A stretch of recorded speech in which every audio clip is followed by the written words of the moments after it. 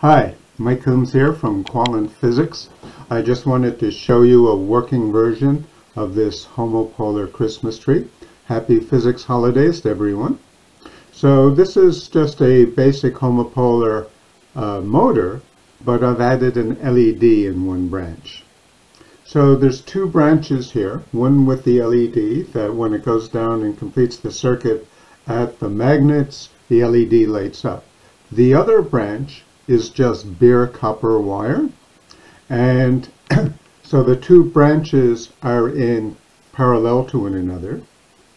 Uh, as it's spinning around, one branch is active compared to the other, which is why the LED is blinking on and off.